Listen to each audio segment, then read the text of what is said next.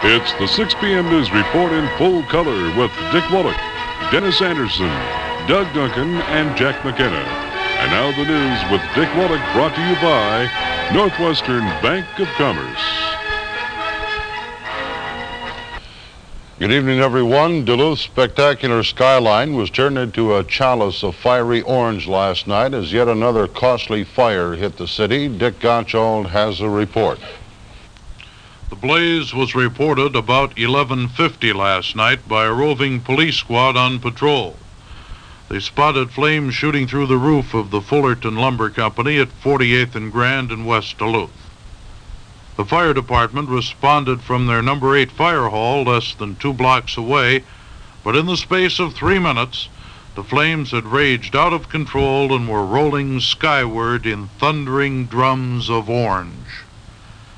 Firemen moved in with their hoses only to be driven back time and again by the intense heat and the flames. For a time, the fire threatened to spread to the overhead railroad trestle and back toward several homes near Shopper City. There was no stopping the blaze once it gained control of the lumber warehouse. Firemen had to retreat with their trucks and equipment to keep them from being burned on occasions. Number 8 truck, in fact, received a scorched paint job from the flaming building. Crowds gathered at nearby Memorial Field just across Grand Avenue and even tried to help the firemen with their equipment. Ten off-duty firemen were recalled to service to man the headquarters fire hall, and in all, eight units were used to bring the five-alarm fire under control. This was the fourth major fire of the week and combined to push Duluth's fire loss for the month of March above the entire total for a year ago. Other fires were at the Peterson Brothers warehouse, which rekindled briefly this afternoon, American Linen Supply, and the Morgan Park School. A mini-skirted girl was seen running from the area of the fire about the time it was discovered last night.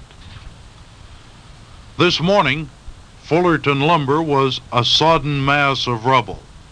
What remained was a charred jumble of lumber and building supplies, along with some light equipment. Workers plowed through the water-soaked interior, poking and prodding, while Fire Warden John Ostman made no official estimate of loss, but was there at the scene. It is expected to exceed $150,000. This is Dick Gottschall reporting. The investigation is continuing, but late today, Duluth police reported they have no suspects in the Fullerton fire or the Morgan Park blaze, which has been blamed on vandals. Morgan Park High School, the scene of a quarter of a million dollar fire last weekend, received some attention of another kind today. Teachers, parents, and over 80 eager students were on the first shift cleaning up the charred interior of the high school. The students were part of nearly 400 volunteers that flocked to the school assembly this morning, so many in fact that Principal Milan Karich, a Morgan Park graduate himself, had to set up two shifts. Dennis Anderson was at the school. It's been overwhelming. We've had uh, a number of people have offered their services, volunteered help. A number of organizations within the community have just just been we've been overwhelmed with the number of people that wanted to pitch in. How many kids have turned out? Well, uh, today at our 9:30 meeting, we had approximately 400 kids show up, and of course, we could only just use so many, so we've had to turn many of them back. And we're work, we're trying to work in two shifts today, from uh, 8 to 3 and 3 to 10. So we're hoping to utilize some of those kids that were turned back at the 9:30 meeting. Have you had other students from different schools in town uh, offer to come over here?